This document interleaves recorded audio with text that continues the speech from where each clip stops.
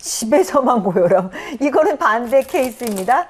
가면 고혈압이라고요? 네. 이제 이분들은 병원에 오래 다니시면서 익숙해지시는 분이에요. 네. 그래서 집에서는 혈압이 상대적으로 높은데 딱 병원에 와서 의사 앞에서 혈압만 딱 재면은 혈압이 정상인 거예요. 그러니까 딱 배기고혈압이랑 반대 개념이죠.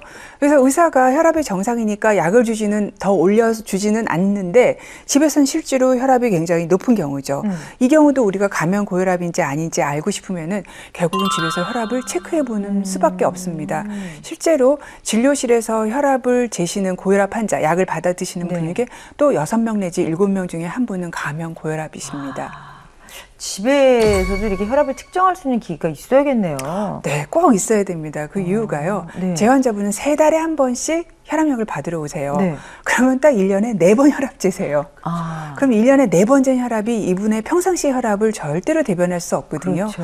집에서 조금 혈압을 재셔야 됩니다. 네. 보통 요즘 뭐 동사무소나 이런 데 가면은 혈압기가 마련돼 있을 때가 있는데 볼 때마다 좀 제약이군요. 네, 볼 때마다 재시는 게 중요한데요. 또 네. 중요한 게 움직이다가 탁 혈압을 재면 누구나 내 혈압보다 10 내지 20 올라갑니다. 올라가죠. 예. 그래서 한 10분 정도, 최소한 5분은 그냥 가만히 흥분하지 않고 네. 앉아 계시다가 재신 네. 혈압으로 음. 기준 혈압 을 잡으시는 게 좋습니다. 네, 명심하겠습니다. 잘생긴 분 갑자기 나타나서 흥분한 다음에 재면은 절대 안 된다는 거. 그렇죠. 네, 네. 안정을 취하고 재야겠습니다.